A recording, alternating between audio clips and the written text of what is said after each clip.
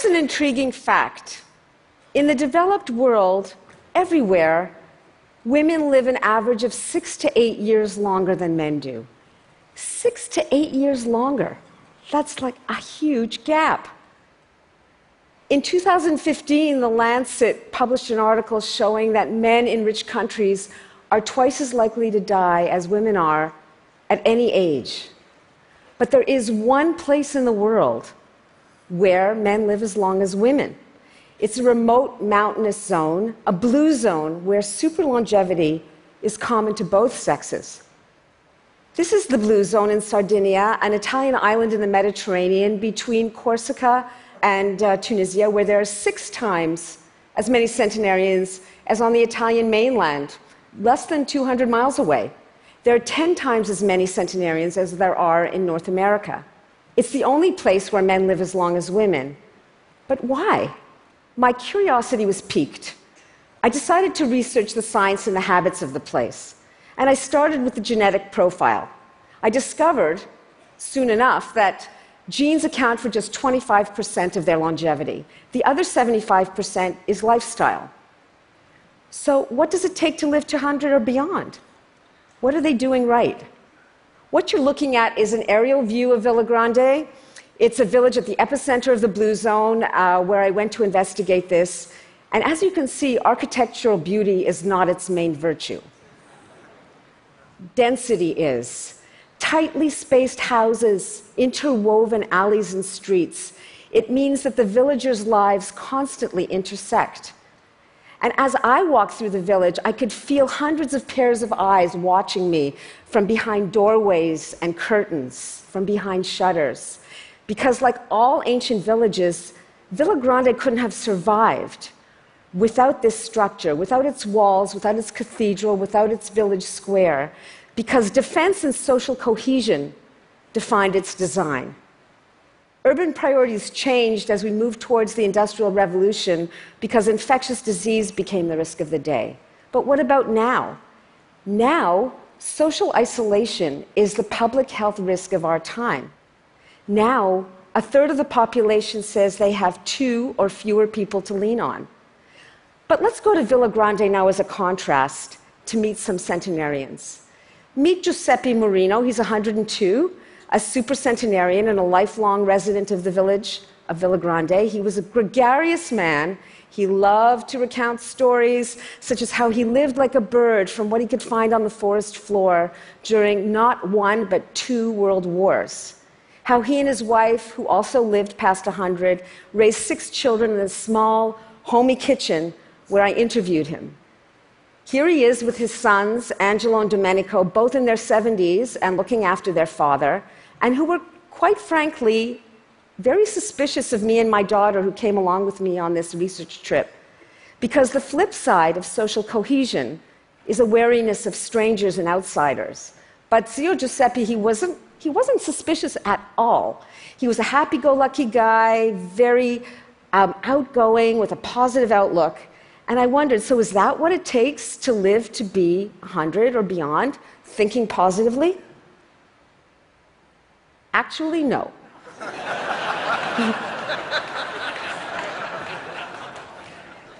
Meet Giovanni Corrias. He's 101, the grumpiest person I have ever met. and he put a lie to the notion that you have to be positive to live a long life.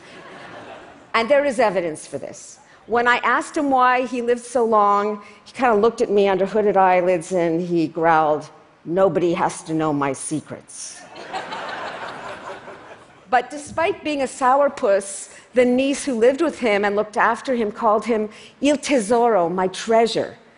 And she respected him and loved him. And she told me when I questioned this obvious loss of her freedom, you just don't understand, do you? Looking after this man is a pleasure. It's a huge privilege for me. This is my heritage. And indeed, wherever I went to interview these centenarians, I found a kitchen party. Here's Giovanni with his two nieces, Maria above him and beside him, his great niece, Sarah, who came when I was there to bring fresh fruits and vegetables. And I quickly discovered by being there that in the blue zone, as people age, and indeed across their lifespans, they're always surrounded by extended family, by friends, by neighbors, the priest, the barkeeper, the grocer. People are always there or dropping by. They are never left to live solitary lives. This is unlike the rest of the developed world, whereas George Burns quipped, happiness is having a large, loving, caring family in another city. now, so far, we've only met men, long living men, but I met women too, and here you see Zia Teresa. She, at over 100, taught me how to make the local specialty, which is called culurgiones, which are these large pasta pockets, like ravioli about this size, this size. And they're filled with high fat ricotta and mint and drenched in tomato sauce.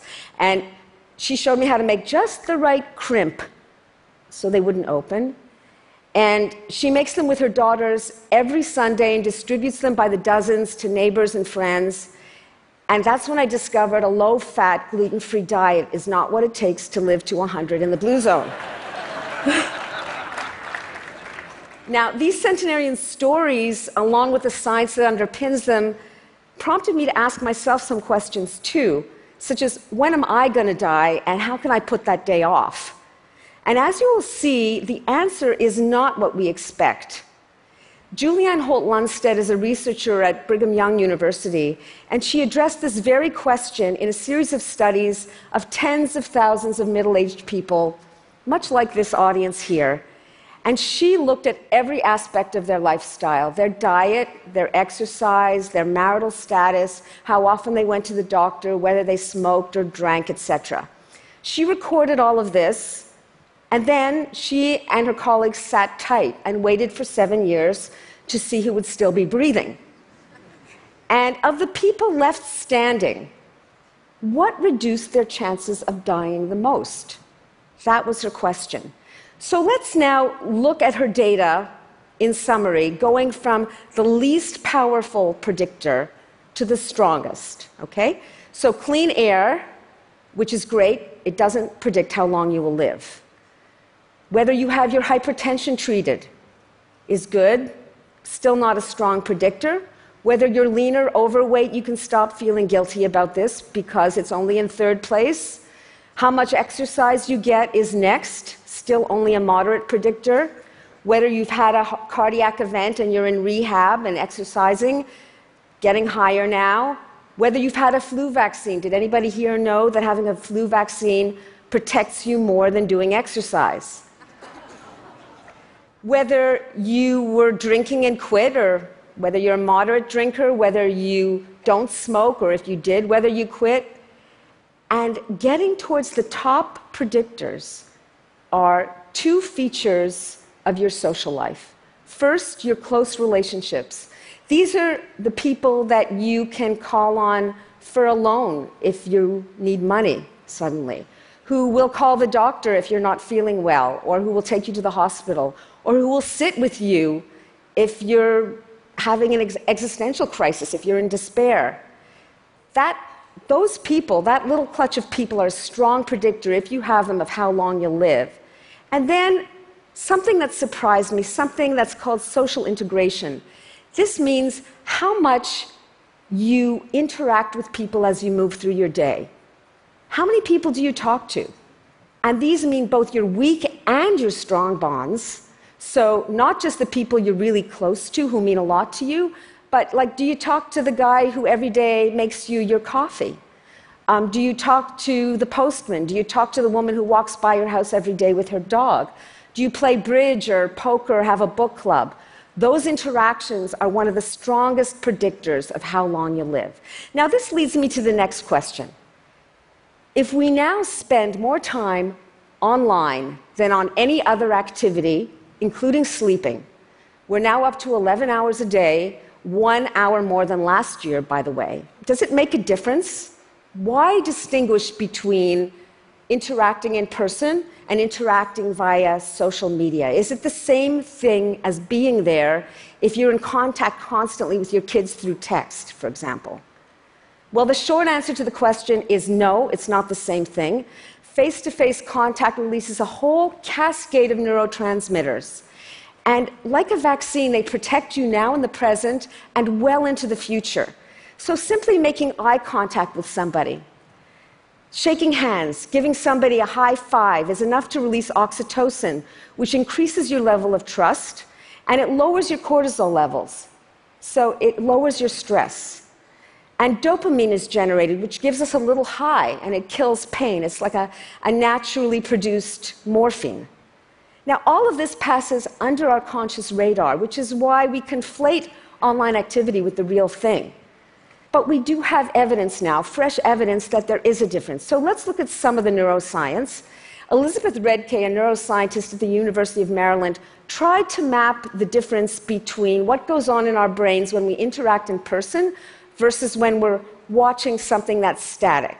And what she did is she compared the brain function of two groups of people those interacting live with her or with one of her research associates in a dynamic conversation and she compared that to the brain activity of people who were watching her talk about the same subject, but in a canned video, like on YouTube. So, and by the way, if you want to know how she fit two people in an MRI scanner at the same time, talk to me later. So, what's the difference?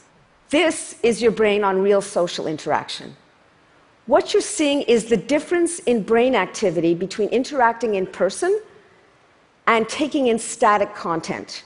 In orange, you see the brain areas that are associated with attention, social intelligence, that means anticipating what somebody else is thinking and feeling and planning, and emotional reward. And these areas become much more engaged when we're interacting with a live partner.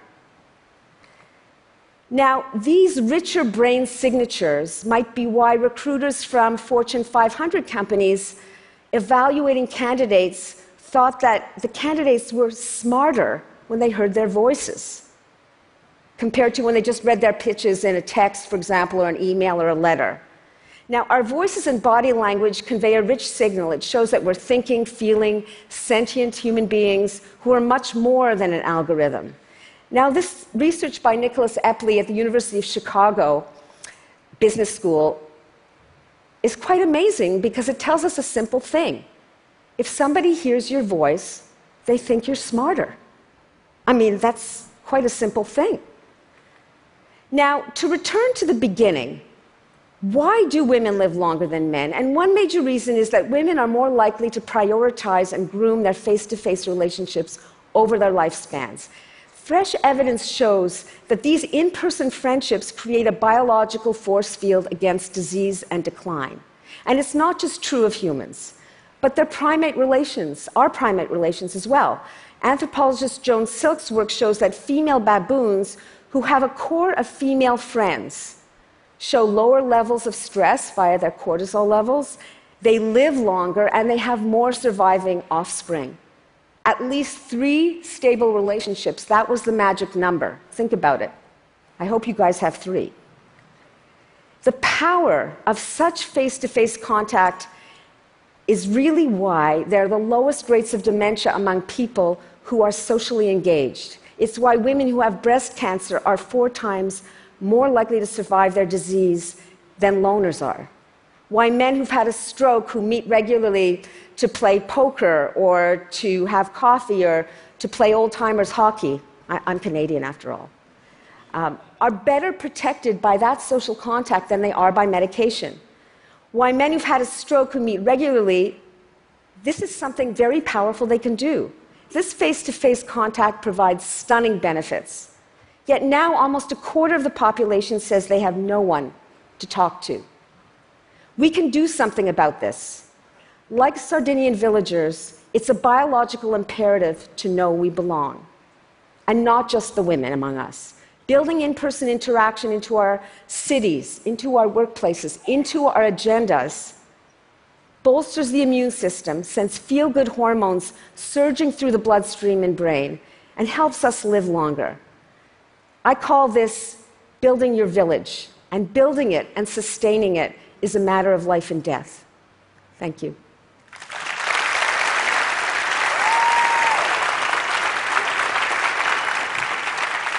Come back. I have a question for you. I'm wondering if there's a middle path. So you talk about the neurotransmitters um, connecting when in face to face, but what about digital technology. We've seen enormous improvements in digital technology, like FaceTime, you know, um, things like that. Does that work too? I mean, I see my nephew. He plays Minecraft and he's yelling at his friends. It seems like he's connecting pretty well. Like, does that is that useful? Is that helpful? You know, some of the data are just emerging. The data are so fresh that the digital revolution happened, and the health data trailed behind. So we're just learning. But I would say there's some improvements that we could make in the technology. For example, the camera on your laptop is at the top of the screen. So, for example, when you're looking into the screen, you're not actually making eye contact. So, something as simple as even just looking into the camera can increase those neurotransmitters, or maybe changing the position of the camera. So, it's not identical, but I think we are getting closer with the technology. Great. Thank you so much. Thank you. Thanks.